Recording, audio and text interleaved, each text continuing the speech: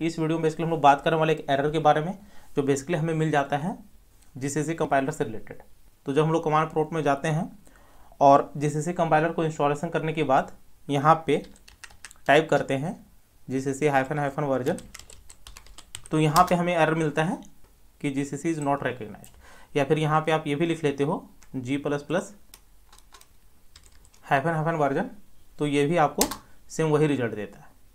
Okay तो GCC का use आप किसी भी पर्पज़ के लिए यूज़ करना चाहते हो, चाहे विजुअल स्टूडियो कोड में कोड करना, या फिर कोई और पर्पज़ के लिए तो ये रिजॉल्व करना आपको ज़रूरी होता है। तो बेसिकली यहाँ पे इसको इन्वायरमेंट पाथ नहीं मिल पाता है, या फिर जो आपने सॉफ्टवेयर इंस्टॉल किया हुआ है, वो सही नहीं है।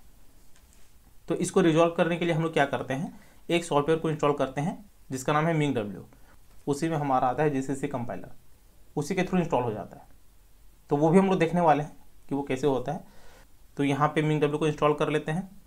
तो आपको कुछ नहीं करना सिंपली यहाँ पे टाइप करना है मिंग डब्ल्यू यदि आप मैक ओ या फिर लिनक्स यूज़ कर रहे हो तो उस केस में भी आप देख लेना। तो यहाँ पे आपको इसमें जाना है। Ming W minimalist G N U for window download तो यहाँ पे जाके आपको डायरेक्टली यहाँ पे डाउनलोड कर लेना है। तो जैसे आप डाउनलोड पे क्लिक करोगे तो यहाँ पे ये आपको डाउनलोड करके दे देगा। दे सकते हो। Min W get setup dot E तो यहाँ पे आपको करना है डबल क्लिक यहाँ पे करना है क्लिक इंस्टॉल पे, यहाँ पे कंटिन्यू पे। अब यहाँ पे देखिए, ये बोल रहा है एप्लीकेशन इज़ ऑलरेडी इंस्टॉल्ड मैंने इसको ऑलरेडी इंस्टॉल किया हुआ है। जब यहाँ पे आप कंटिन्यू करोगे, उसके बाद क्या आएगा? मैंने यहाँ पे स्क्रीन लिया हुआ है। वो इंस्टॉल करना स्टार्ट कर देगा और यहाँ पे आपको कुछ पैकेजेस मिलेंगे। ओके? तो इन पैकेजेस में यहाँ पे आप दे सकते हो, ये बोल रहा है Ming W thirty two G C C या फिर जी प्लस प्लस यहाँ पे इसको यदि आप क्लिक करोगे, ये वाले लास्ट के टू और स्टार्टिंग के दो, ये एम सिस्टम बेस जो है, ये अपने आप इंस्टॉल हो जाता है। तो यहाँ पे एक को सिलेक्ट करना है, उसके बाद इंस्टॉलेशन का ऑप्शन आएगा। यहाँ पे आप देख सकते हो। फ़र्स्ट वाला मैंने सेलेक्ट किया तो यहाँ पे ये बोल रहा है मार्क फॉर इंस्टॉलेशन जैसे आप मार्क फॉर इंस्टॉलेशन क्लिक करोगे तो वो आपको इंस्टॉल करके दे देगा। सेम आपका होगा सारे के केस में। तो जब आप इंस्टॉल कर लोगे, ये सारे को, ठीक है? तो उसके बाद आपको क्या करना है? इंस्टॉलेशन वाले में जाना है और यहाँ पे कर लेना है अप्लाई चेंजेज तो जब आप अप्लाई चेंजेस करोगे तो यहाँ पे ये इस तरह का ऑप्शन देगा। यहाँ पे कर लेना अप्लाई ओके और फाइनली ये आपको इंस्टॉल करके दे देगा। यहाँ पे फाइनली आपको कर लेना क्लोज ओके तो ये हो जाएगा आपका इंस्टॉलेशन उसके बाद यहाँ पे क्या करना है? आपको इन्वायरमेंट पास सेट करना है। यदि यहाँ पे आप सीएमडी ओपन करोगे और यहाँ पे लिखते हो G C C hyphen hyphen version enter तो ये आपको सेम वही एरर देगा.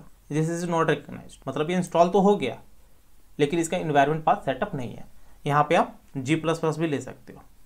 Okay G plus plus hyphen hyphen version जो कि मैंने भी आपको बताया. एंटर तो देख सकते हो. ये बोल रहा है.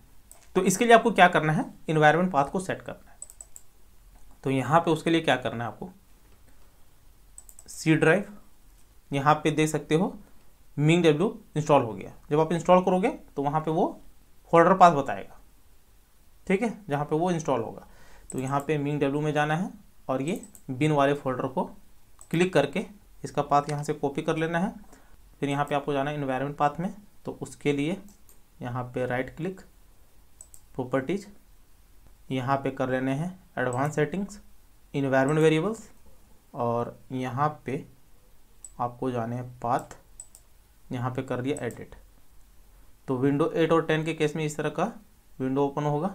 तो यहाँ पे कर लेने हैं न्यू कंट्रोल वी और यहाँ पे कर लेना ओके ओके यहाँ पे भी ओके फाइन इसको यहाँ से कर लिया क्लोज ओके अब यहाँ पे क्या करना है? इसको फिर से क्लोज करना है सी को फिर से यहाँ पे ओपन करना है सी एम डी एंटर अब यहाँ पे देखते हैं। फिर से वही टाइप करते हैं जिस से हाइफन हाइफन वर्जन एंटर अब देख सकते हो यहाँ पे ये बोल रहा है GCC six point three point zero जो भी वर्जन है, वो आपको बता दिया है। मतलब ये हमारा सेटअप हो चुका है। सेम आप यहाँ पे कर सकते हो जी प्लस प्लस के लिए। एंटर ओके सेम वही रिज़ल्ट दिया तो वो आपका एरर रिजॉल्व हो जाएगा, जो हमारे यहाँ पे आ रहा था। अब इसका यदि आप यूज़ करना चाह रहे हो विजुअल स्टूडियो कोड में तो वहाँ पे भी आप यूज़ कर सकते हो। मैंने वीडियो ऑलरेडी बना रखा है। यदि आप C C plus plus code को यूज़ करना चाहते हो विजुअल स्टूडियो कोड में तो वो भी आप दे सकते हो। लिंक डिस्क्रिप्शन बॉक्स में मिल जाएगा आपको। तो उम्मीद है वीडियो ज़रूर अच्छी लगी होगी। चैनल पर नहीं तो सब्सक्राइब ज़रूर कर लेना। मिलते हैं नेक्स्ट वीडियो में। Thank you happy learning